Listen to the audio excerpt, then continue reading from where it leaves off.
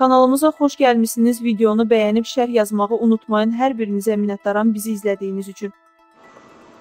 Aktyor Rəzzaq Məmmədov 74 yaşında vəfat edib. Oxu24.com xəbər verir ki, bu barədə Gənc Tamaşaçılar Teatrının mətbuat xidməti məlumat yayıb. Bildirilib ki, sənətkar bu gecə uzun sürən xəstəlikdən sonra dünyasını dəyişib.